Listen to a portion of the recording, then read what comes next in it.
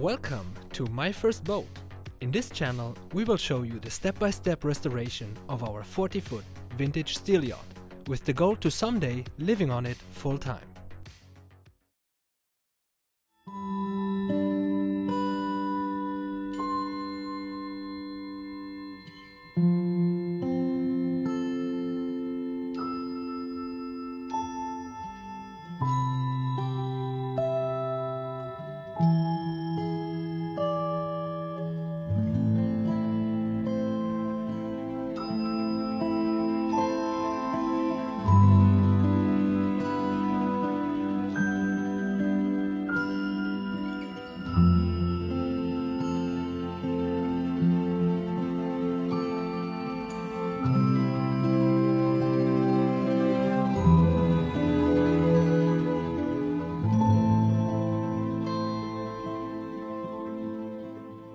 Yes, I'm back on the boats, back from the holidays, and ready for new adventures. For reasons I can't disclose right now, I am unable to start any big projects at the moment.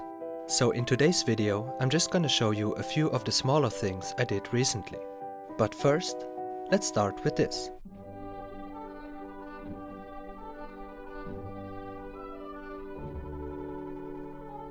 This is the situation I found right after the Christmas holidays. The entire lake was completely frozen stiff.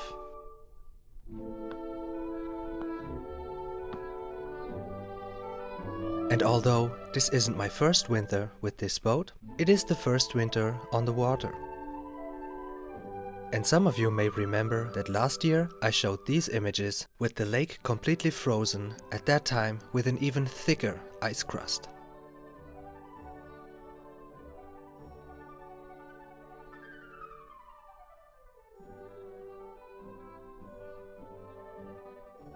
Alright, now back to the present time and to figuring out how to get to the boat.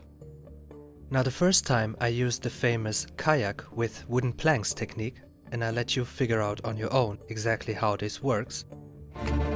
By the second time I had learned the technique with two metal sticks, which is kind of like skiing over the water.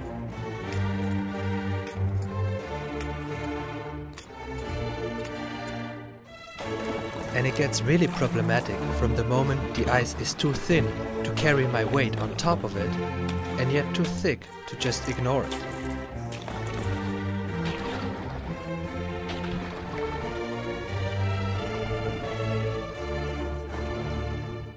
Alright, now in all seriousness, let me briefly show you what it's like to be on a boat on a frozen lake. Well, it feels pretty much like being on the hard stand. Since the boat doesn't move at all, it doesn't rock with the waves and so on. Some people told me that the hull of the boat can get crushed from the expanding ice. But I didn't experience any of that. This boat owner apparently didn't notice that the lake was frozen and drove his boat anyway. Even the birds seemed to struggle in their own way here is an alternative technique to get to your boat.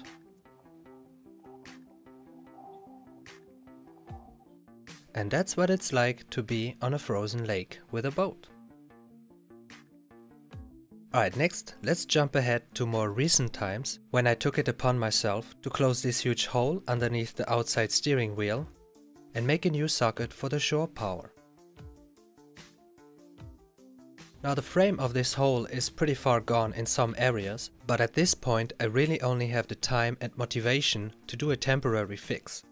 So I start by scraping off the loose paint and chunks of loose rust and then treat it with rust converter.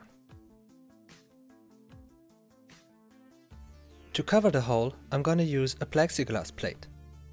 Unfortunately, I ordered too thin of a plate, so it cracked right away and because the frame was so rotten at the bottom, I couldn't really get any screws through. In summary, a great idea with shitty execution. But despite all this, this will do for the moment.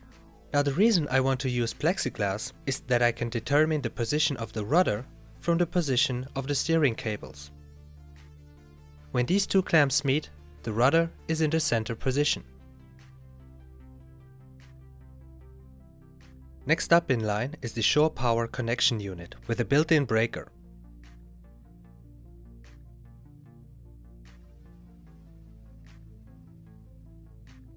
Here I simply remove the old wires and replace it with this extremely durable AC wire. Now this can go back And then it's time to lay the AC wire inside the engine room to connect the shore power unit with our Victron Quattro.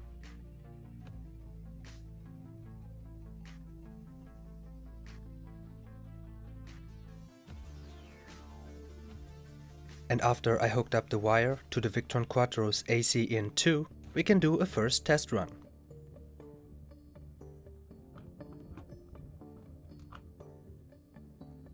I'll use this 3000 watt gasoline generator as our AC source.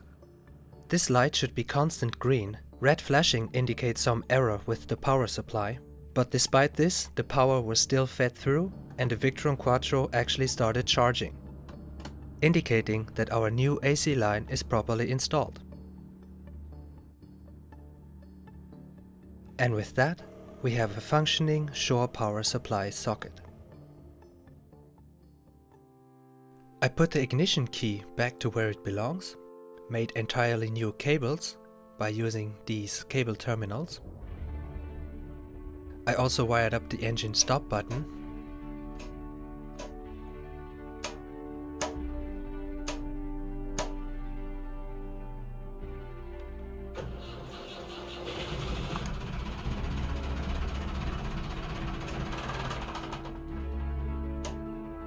And I got new battery terminals for our starter battery. And I just made everything a little more tidy, a little nicer.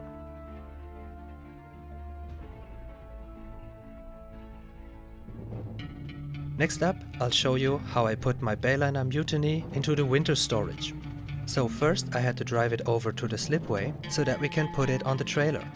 And by this time, my friend and I were very experienced in this matter, so that there were no mistakes to be expected.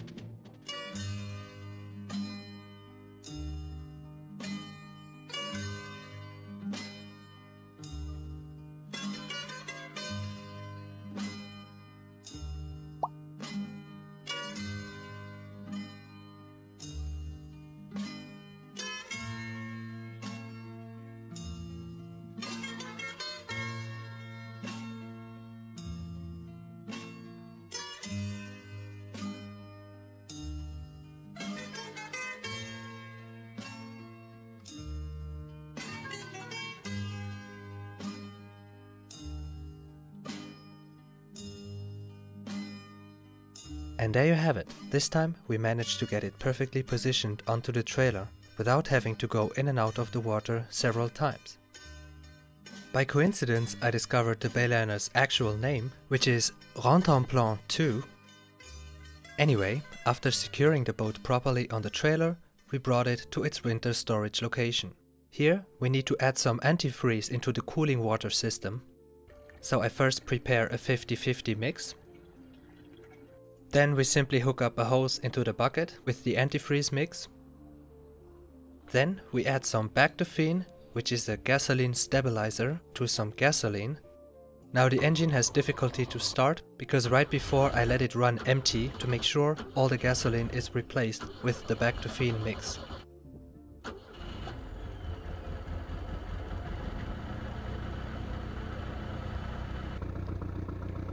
Now that all the water in the cooling system is replaced by our antifreeze mix, we add the remaining bactophene gasoline mix to the tank. Next we cover up the boat with a new tarp. We then secure the tarp with a set of ropes, carabiner hooks and tension straps.